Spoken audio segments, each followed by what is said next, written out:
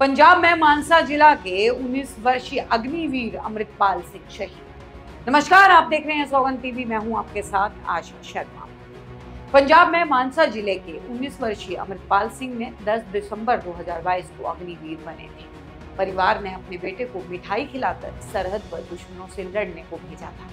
11 अक्टूबर को वो जे में गोली लगने से शहीद हो गए। फौजी का पार्थिव शरीर सेना के वाहन की बजाय एंबुलेंस में आया। गार्ड ऑफ़ ऑनर भी सेना की टुकड़ी ने नहीं, बल्कि पंजाब पुलिस के जवानों ने दिया। इस वेदवाद की उम्मीद अमृतपाल की फैमिली को शहीद अमृतपाल सिंह की बहन कनाडा में रहती है। पिता गुरदीप सिंह ने कहा कि अमृतपाल ने अपनी भतीजी की शादी के लिए छुट्टी ली थी। अमृतपाल सिंह अपने माता पिता के लिए पढ़ते बेटे थे। ट्रेनिंग के बाद करीब डेढ़ माह पहले ही छुट्टी काटकर वे ड्यूटी पर जम्मू कश्मीर गए थे अमृतपाल सिंह, एक मध्यम वर्गीय किसान परिवार से सेना में भर्ती होने से पहले अमृतपाल सिंह अपने पिता के साथ खेती में उनका हाथ बटाते थे।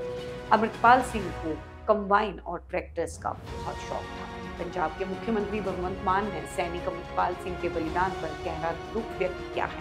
मुख्यमंत्री ने कहा कि अमृतपाल सिंह मानसा ज़िले के गाँव कोटली कला के रहने वाले थे या देश के लिए, खासतौर पर परिवार के लिए अपूर्णीय कमी है। मुख्यमंत्री ने अपने परिवार के साथ गहरी हमदर्दी ज़ाहिर करते हुए कहा कि इस दुख की घड़ी में पंजाब सरकार परिवार के साथ खड़ी है।